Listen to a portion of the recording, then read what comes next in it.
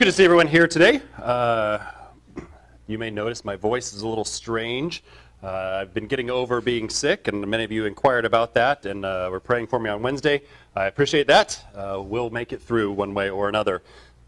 We've been looking over the last uh, several months now at relationships that we find in the Bible and as they're described to us through different metaphors or analogies that God uh, provides in Scripture for us. And we've spent all of our time so far looking at the relationship that we have with God. And we've looked at that through several lenses. We looked at the idea uh, that we are God's servants, and that is that we are uh, to do what He requires us to do. We do His bidding, uh, and that, that is our main concern. We then focused that in on a particular type of servant and talked about stewardship and how that's such a good analogy for humanity in that we have been entrusted with certain things by God, and one day there'll be an account that we give of how we've used those things that God has blessed us with and left in our charge. We then turned to a more personal relationship, and that was that of sons. And that focused on that love that God has for us and what a blessing it is that God has chosen us to be his sons, and as sons, also his heirs. And then we turned to some of these uh, more strange metaphors, perhaps, and that they're not people, and that is that we are the temple or the house of God. And we're that both collectively as the church and individually as Christians. And that is the case, uh, it's important for us because God dwells in us. And so how we treat his temple is an important idea. And then we got even more specific and looked at the vessels in the temple. Uh, and there's a metaphor about how we are vessels of God, specifically earthen vessels in one case, uh, which demonstrates the power and the glory that God has put into us. And then honorable vessels, we spent some time looking at, uh, where we find that we can choose to be vessels of honor, because in a great house there are vessels of honor and vessels of dishonor. And so we should be focusing on being vessels that are useful for the master. And now we're going to leave that idea, that, that relationship we have with God. There's many other we could look at, but we must press on. And we're going to look at the idea or the relationship that we have with Jesus. And there are many metaphors we'll discover that talk about how we relate to Jesus. And we're going to begin with one that's probably the best uh, or most well known, I would suspect, and that is of the shepherd uh, to the sheep. And so we're going to spend a couple of weeks looking at the idea of the relationship of shepherd and sheep and how we fill into that role. We had the reading for us just a minute ago from Luke, the 15th chapter, and I would encourage you to open it up. We're going to spend all of our time uh, there in Luke 15 today in those first seven verses, where Jesus tells this parable of the sheep. And as we look at that idea, there's some things that we want to notice about that relationship. But before we can do that, we need to look at those first two verses again and discover the reason that Jesus is telling this parable in the first place. In verses 1 and 2, there it says, Now the tax collectors and the sinners were all drawing near to hear him, and the Pharisees and the scribes grumbled, saying, This man receives sinners, and he eats with them. When Jesus tells this particular story, the reason for the parable is because he has surrounded himself with sinners, with people that the religious elite of the day looked at and said, These people are beneath you.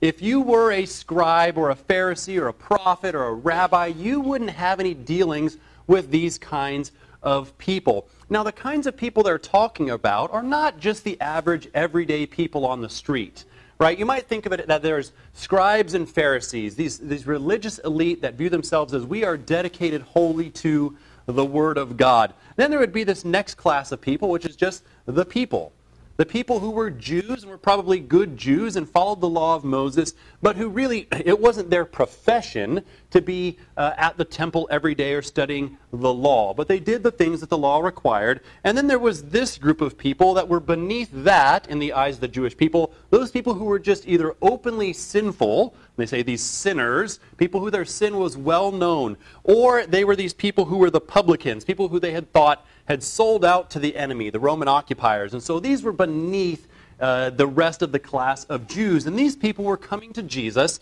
and Jesus was teaching them and talking with them. And so he tells this story to them.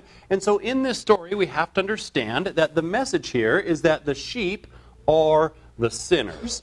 That's what's going on. Sheep equal sinners. That's what they are. And so when we look at this idea and that we're going to be compared with sheep over the next several weeks in several different passages, we need to keep that in mind. We are sheep. In this story, you do not want to be the scribes or the Pharisees, those that are grumbling against Jesus. You want to be a sheep, even though that makes you a sinner, because that's what we are.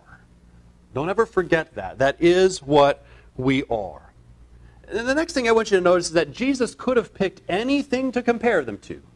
He could have picked any animal he wanted to compare them to, but he chose sheep.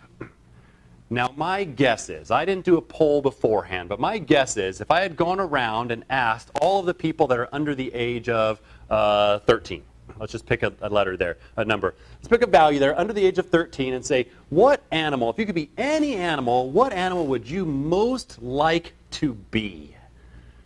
My guess is that I would have gotten zero sheep. That's just my guess. I would have gotten zero sheep. I probably could have asked all 60 some odd people in here, what animal would you most like to be? And might have gotten one or two sheep only because people might have been thinking of this already. But if it was just out on the street, they wouldn't have said it there. I would have probably still gotten zero sheep. Why is that? Why is that that no one would say, I want to be a sheep? Because sheep are boring. Sheep are stupid. Sheep are dirty. Sheep are weak. They're not fearsome animals. They're sheep. I didn't do the analysis, but my guess is none are coming to mind of any pro sports teams that are named after sheep. I don't think there's any college teams that call themselves the sheep. Maybe a ram, but sheep. No one wants to be a sheep. It's a humbling comparison that Jesus has chosen to make here. You're a sheep. You're not an eagle. You're not a bear. You're not a lion. You're a sheep. And Jesus picks that metaphor purposefully to demonstrate some characteristics about us. But enough about that. We'll spend time talking about that later. Because this story that he just tells here isn't really about the sheep at all. This is a story about a shepherd. And so as we look at this next several verses here, Jesus is laying out a story of a shepherd. And that makes sense. Because when the Pharisees come complaining, who are they complaining about? They're not really complaining about the sheep. They're complaining about Jesus spending time with the sheep. And so this is a story about Jesus' side of the metaphor here, that of the shepherd. So let's look and see what is the shepherd like towards us. As we look at that, then, the first couple of verses in this story, he says, He spoke this parable to them, saying, Which man of you, having a hundred sheep, if he has lost one of them, does not leave the ninety and nine in the open country and go after the one that is lost until he finds it? Now, this is a very simple thing that he tells. It's a story that must clearly be familiar. I don't know anything about sheep, and you probably don't know that much about sheep. And the shepherding that we have today is probably not very much like this particular shepherding that we have here. But what he tells is clearly something they would all say, all of us would. This is what they all would have responded to this. It's a common idea they would have. And so this seems like what a good shepherd would do. No one gets on Jesus' case and says, no shepherd does that. The metaphor he gives is appropriate and is valuable to the people of that day. He's telling us what a good shepherd is like. And the first characteristic we see of this particular shepherd is that the shepherd sees. That's what he does. The first thing the shepherd does is he sees. He notices the missing sheep. That's what he notices. Now, I, I took a quick count, and I think there's about 62 people in here today. And if one person wasn't in here, they got up and they left, would you even notice they were missing? Probably not. That's not even 100, right? If you had 100 sheep, I mean, because at least this way I can tell, oh, you all look different to me. But if you put 100 sheep out there and one of those sheep wanders off, are you going to notice that that sheep is missing? Probably not. Probably not. But the good shepherd sees. He looks out and he notices that one of my sheep is not here. He's gone missing. And so that's something that's important. Now, when he looks out and he sees that the one sheep is gone, don't think that that means that he's forgotten or doesn't know about the 99 that are also there. He knows about them. He understands their situation. He knows where they are. In fact, it says that he leaves them there in the open country, or I believe uh, the one that Pat, uh, Patrick, the one that Brandon was reading for us, said that he leaves them there in the open pasture. The idea here is he leaves those sheep in a safe place, in their proper location, the place that they belong. There's not danger to those sheep there, and the shepherd knows that. He knows the 99 are safe, and he knows and he sees, he notices that the one is in danger. Now, there may be people here today that live their life in a way that feels like no one ever notices me. No one ever notices me. Now, I can't say that because you all notice me. You see me up here talking to you. It's impossible for you not to notice me. But you may be out there saying, you know what, I can sometimes go and all of you at services and be there and things are good, but I wonder if I wasn't there, if anyone would notice that I was missing that day.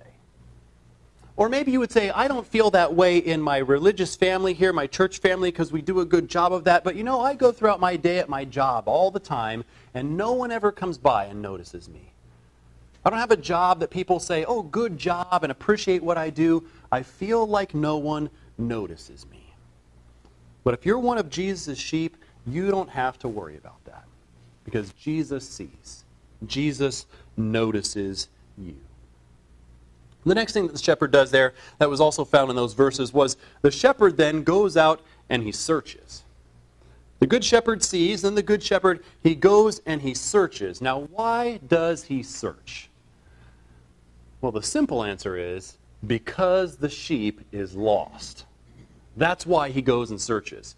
I was sitting and I was thinking about different way. They have posted up things that says like there's a lost animal there. You know I'm talking about? And most of the time, that's a lost dog. Right? Lost dog, reward, and people are out there looking for their dog. And I've seen people come by my house before when we're sitting outside during the day or during the evening, and they'll come by and say, Hey, have you seen a dog run by here? Uh, no, I haven't seen a dog run by here. You know what I've never seen? I've never seen someone come along and say, Hey, have you seen my cat come running by here? Very rarely do I see posters up that says lost cat. People don't go searching for cats. You know why people don't go searching for cats? Because they don't get lost. They come and they go and they know where their place is and they're always coming back again. People don't go searching for animals that aren't lost. But if you were a shepherd and your sheep wanders off, you're not going to be thinking, you know what, I'll just put all the other sheep away and go home. I'm sure the other sheep will come back at some point whenever he's ready. Because that's not what sheep do. They get lost. They wander off and they can't find their way back. And so Jesus goes and he searches for the sheep because a good shepherd searches for that which is lost. And understand something the shepherd leaves everything to go find the sheep. Jesus left everything to come find us when we were lost. He left it all. We have lots of songs that talk about all of the great and amazing things that Jesus left to come here to save us. Not only did Jesus leave everything to save us, but he sacrificed everything to save us. It was a big sacrifice that Jesus makes all the way to his life to save us, to find us. And this shepherd is doing the same thing. The shepherd in the story, while we don't hear about it, that song we sang paints a good picture. The shepherd has hardship to find the sheep. The shepherd goes out into the wild and the dangers himself to track down that which is lost. That is what the shepherd does. He searches. And Jesus is still concerned for the lost sheep today. If you're out there today and you have not come to know Jesus, Jesus is still searching for you. He's concerned about you. Because the good shepherd, he searches. Let's look at verse 5. Verse 5 says, And when he has found it, that is the sheep, he lays it on his shoulders, rejoicing. We've seen that the good shepherd, he sees that the sheep is missing. He goes out and he searches for that sheep. And the shepherd also saves the sheep. That's what the shepherd does. The shepherd saves. We can see here in this story that this shepherd is actively caring for the sheep. That's clear by the fact that he notices that one sheep out of the hundred is missing, that he's actively caring for all of the sheep. But beyond that, when he goes out and he notices the sheep is gone, and he presses off into the wilderness to find that sheep, when he finds it, what does he do? He takes that sheep and he puts it on his shoulders and he carries it home. Now, I want you to think about this. You ever lost your dog? I have. And we've gone out and we've found the dog. And when I find the dog, you know what I do with the dog? I probably have a leash or collar and I put it on it and I walk him home. Or maybe he's gotten really far and I've driven my truck. I say, jump in the truck and I close the door and I take him home. Not once have I picked up my dog and put him on my shoulders and carried him home. Never. I don't do that. When Jesus goes out and he finds the lost sheep here, he doesn't take the sheep and say, Come along, and walk in front of it. He doesn't go and take the sheep and pull a rope around its neck and drag it home. He goes out and he picks up the sheep and he puts it on his shoulders. Now, again, I'm not sure how far the shepherd has wandered around looking for this sheep, but my guess is it's not close. The reason my guess is it's not close is because he says that he's left the 99 in the pasture where they belong, and he walks out searching. He's left there. He's gone somewhere far enough away that he can't see the other 99 sheep anymore. He's a ways out. Let's call it a mile. Let's call it two miles away from the other sheep. He goes and he finds the sheep and he picks it up and he throws it over his shoulder and he carries it home. Now, I know some of you probably complain when you have to walk out to your car and get a five pound sack of flour and carry it in the house. You ever see those strongest man competitions? I'm talking about? They were real popular in the late 90s and the early 2000s, I guess. You don't see them as much anymore, but they still have them. You watch on ESPN, they have the strongest man competition. And they would do ridiculous things, like take these full, you know, 100 pound kegs and throw them up over a wall behind them that's 10 feet tall.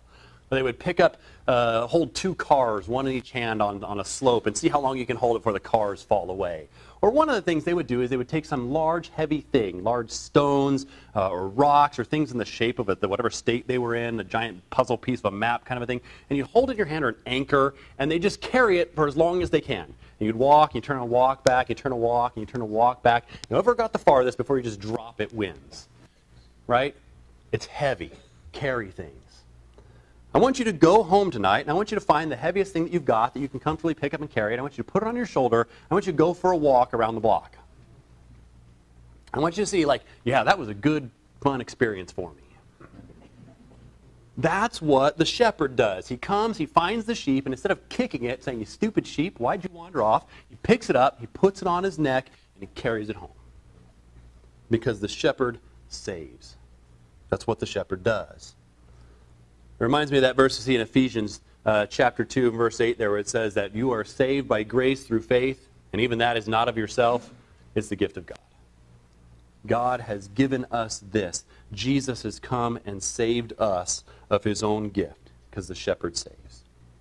Let's look at verses 6 and 7. It says there, And when he comes home, he calls together all of his friends and his neighbors, saying to them, Rejoice with me, for I have found my sheep that was lost. Just so I tell you, there will be more joy in heaven over one sinner who repents than over 99 righteous persons who need no repentance. The last thing we see about the shepherd is that the shepherd sees, the shepherd searches, the shepherd saves, and then the shepherd, he celebrates. It doesn't start with an S, but it sounds like it does. The shepherd, the shepherd celebrates. Jesus takes joy in saving his sheep. He takes joy in it. now, you might think, well, that might be a pretty normal thing for people to do. I don't think it was. I think that was a strange thing to do, to call all the friends and neighbors together and throw a party because you found the lost sheep. The reason I think that's the case is because, again, on every occasion where I've had to go out and find a lost animal, never once have I gone to all of my friends and neighbors and said, Come, rejoice with me.